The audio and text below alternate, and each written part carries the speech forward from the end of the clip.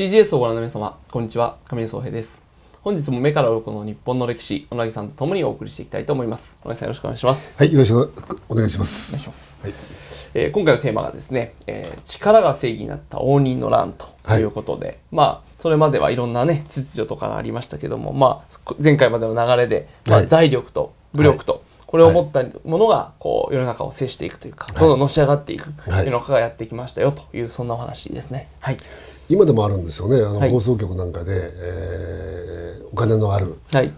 人がはい別にその俳優さんでもなければ歌手でもない、はい有名人でも何でもないのに、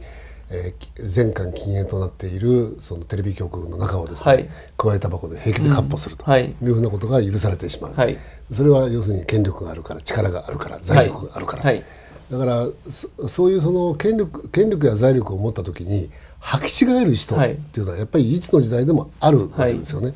それは国籍だとか民族だとかの問題ではなくて人間の差がのようなものかもしれません。で応仁の乱っていうのはあの約10年間にわたって行われた戦いでして、でまああの教科書なんかを見ると将軍家の跡目相続争いはいが原因だったとかですね、い、ろんなことが書いてあるんですけれども何が原因なのかいこういろんなものを見ていってもいまいちわからない、はい。いまいちわからないんだけれどもじ事実として約10年間にわたってもう戦乱に次ぐ戦乱が相次ぐという、そういう状況になっていったということはわかる。はい。じゃあ一体その中身は何だったんだろうかっていうふうに考えてみると要するに権威の崩壊秩序の崩壊うんということが、国全体を大きく荒らした時代だったというふうにうん言うことができるんではないかというふうに思います。はい。あの応仁の乱そのものは約10年間の争いでしかなかったんですけれども応仁の乱による混乱の時代っていうのは約100年続くんですね。であの日本の歴史の中であの20年ごとに伊勢神宮のあの式年遷宮があるじゃないですか、この式年遷宮が行われなかった時代っていうのがあの大東亜戦争の終戦昭和はい。20年から始まる70年間はい。の今の日本と、うん。それから戦国時代、えー応仁の乱に始まる戦国時代の100年間、はい。この2つの時代だけが国のお金国費を持って式年遷宮が行われなかった2つの時代なんです、うん。あとは全部国のお金で式年遷宮が行われている、はい。要するにそれだけこうそもそも日本という国の国を構成している一番原点となるそのに日本的価値観、はい。秩序観といったようなものがもう完全に崩れてしまった、うん。まあ、その結果本当にあの人が人を殺し合うというはい。大変な事態を迎えることになってしまったということになります。はい。で、えーこの時代を憂えたものが次のフリップにあるんですけれども「はいえー慣れや知る都は延べの夕日張り、えー上がるを見ても落ちる涙は」という、そういう歌なんですね。はい。これえー飯尾彦左衛門の城っていう人が読んだ歌として有名なんですけれども、えーまあここに訳があります。お前は知ってるか？都は平らんで焼け野原となったことを夕日張りがさえずりながら空へ登っていく。そんな姿にも涙が落ちる。はい。といったようなことをまあ読んだ歌になります。はい。まあ、ある意味非常に分かりやすい歌であるんですけれどもそもそもその和歌っていうものが持っていたその名察効果その言葉に書いてあることの裏側に大きな意味があるんだという部分もかなり薄れていて歌自体が非常に分かりやすい、はいぶあの長い文章の中の一部分だけをこう、切り抜いたような、はいそんなふうな和歌になっているということがこの歌からも読み取れると思います。だなるほからそういう意味では知的水準もやや。その前の時代の楠木正成やなんかうんの頃と比べるとですねちょっと知的水準も落ちてきてるということが実はちょっとここで分かるわかるわけですね。はい。で、えーままた同時にそのお非常にこうよ時代が崩れていく崩壊していく、はいそういう中にあってち対中貿易対民貿易によって、はい大変な利益を上げて大儲けしていたはずの将軍家の財政もはい非常に厳しいものになってくる。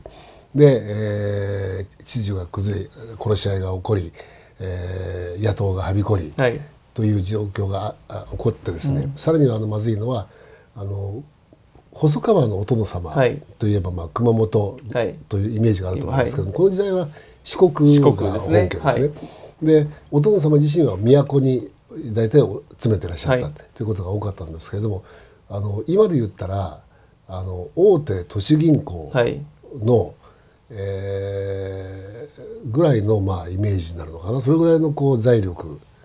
を持っていたところになるんですけども、うん。そこの過労クラスって言いますから多分まああ大手都市銀行の専務とか、常務とか、はい、それぐらいの偉い人になりますね。はい、でこの偉い人が手勢を率いて、はい、西園寺家を襲撃して、で西園寺さんの娘さんを、の着てる服の下着まで全部剥いで持ってっちゃった、はい、というような事件が起こったのも実はこの頃の出来事になります。うんはい、あの本当にだからその刀を持っていれば槍を持っていれば武力があれば何やったって構わない、うん、どんなことやったって許される、はい、そこまで悪いことやっていたから一切お咎めがないんです、はい、咎める人がいない、うん、そういうでそういう中にあってやっぱりやられたらやり返す、うん、冗談じゃないと、はい、うちの国には攻めてくるんだと、はい、あんたらが勝手に喧嘩するのは勝手だけど、うん、俺っちの国にまでは迷惑迷惑をかけるなということで国境ができ、はい、まあ、国境っていうのは国の国境ではなくて、まあ、比較的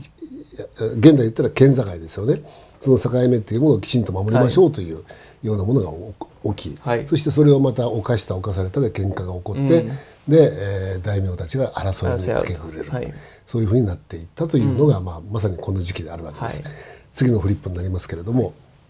下克上、まあ、そういう中にあって無能なトップがいると、はい、もうあの反国の維持をすることができない、うん、だから力のある者がリーダーとなるべきだということになりまして、はい、下克上が起こりそして、えー、法とか理論理論よりも武力がものを言う、うん、秩序よりもお金の力がものを言う、そしてえー、権威伝統的な権威よりも権力がものを言うという、はい。うん、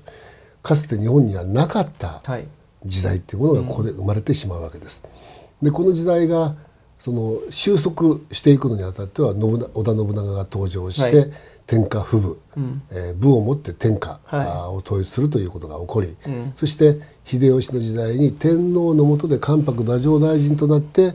で国をまとめるという行為が起こりそしてえー、関ヶ原の合戦の後徳川家康が改めて征夷大将軍としてもう一度その国国内っていうものを統一していくというそれだけの作業を伴って初めて国が一つにまとまっていくということになっていきます。はい